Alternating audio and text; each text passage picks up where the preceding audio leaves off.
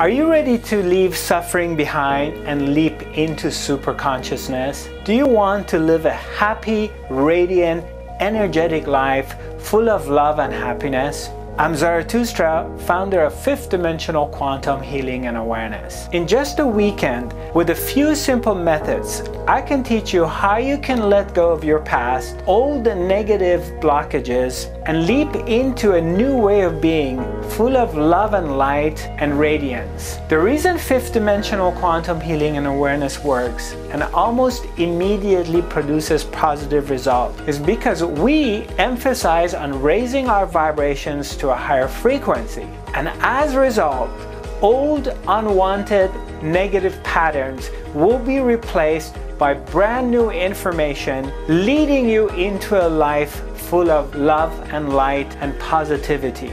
Join me this spring in Hamar, Norway, and together I will help you achieve all your spiritual goals.